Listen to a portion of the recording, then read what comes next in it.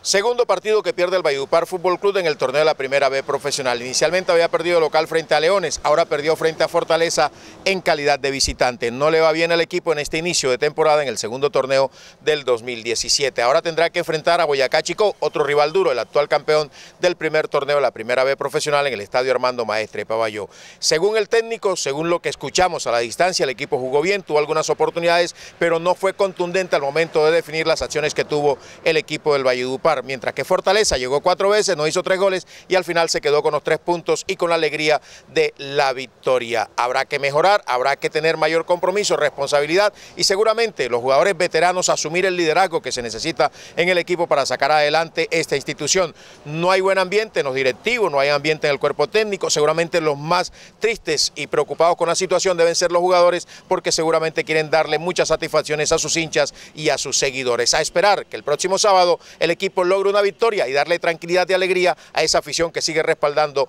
al Valledupar Fútbol Club. Así lo pienso, así lo digo.